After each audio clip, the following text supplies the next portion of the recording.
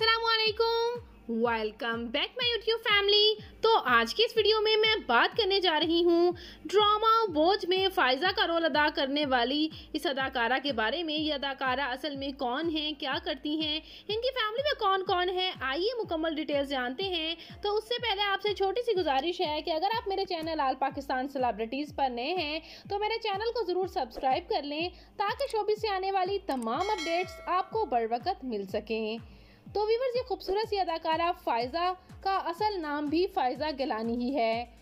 और ये अदाकार, अदाकारा पाकिस्तान के शहर कराची से ताल्लुक़ रखती हैं। ये फ़र्स्ट जनवरी 1980 को कराची में पैदा हुई और इस वक्त इनकी उम्र तकरीबन 43 इयर्स हो चुकी है। वीवर्स ये अदाकारा बहुत से थिएटर फिल्म्स और ड्रामाज में अपने करेक्टर्स की वजह से जानी जाती हैं। इनका पहला डेब्यू ड्रामा 2010 में आया था। और वहाँ से ही इन्होंने काफ़ी ज़्यादा शोहरत हासिल की। इनके टॉप ड्रामाज की बात करूँ तो ये ड्रामा दीवानगी, ड्रामा प्रेम गली, ड्रामा सन्नाटा, ड्रामा क़यामत, परदेस, एतबार और ड्रामा मीसनी में अदाकारी के जौहर दिखा चुकी हैं। वीवर्स बात करती चलूँ मैं इनकी फैमिली के बारे में। तो इनके वालद एक बिजनेसमैन जबकि इनकी वालदा हाउस वाइफ हैं और इनकी फैमिली में कोई भी शोबिस इंडस्ट्री से ताल्लुक़ नहीं रखता।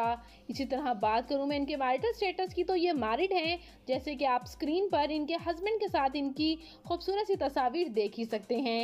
इनके हस्बैंड जो हैं, वो एक शोबिस इंडस्ट्री से ताल्लुक़ नहीं रखते, लेकिन इन्हें शोबिस में काम करने से मना भी नहीं करते। इनका एक क्यूट सा बेटा और एक क्यूट सी बेटी भी है, जैसे कि आप स्क्रीन पर देख ही सकते हैं।